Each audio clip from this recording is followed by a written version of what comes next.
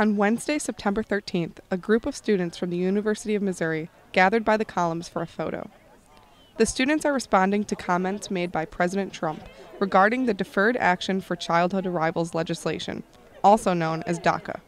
I wanted to affirm my support for passing the DREAM Act, which at this point is the only way that we're going to get DACA codified into law. Students gathered their frustrations towards the Trump administration to create this event to show their solidarity with Dreamers.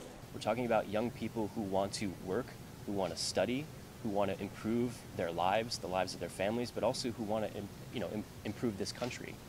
During the event, a photo was taken to depict their support to some 800,000 young people who rely on DACA. Two, three, It's up to us who have citizenship to use our privilege to show that we support that. The student population really cares about this issue. Students then received a list of local legislators to call and voice their concern. People have elected them to be officials and to represent us, and so it's high time that they actually represent the constituents and support the DREAM Act.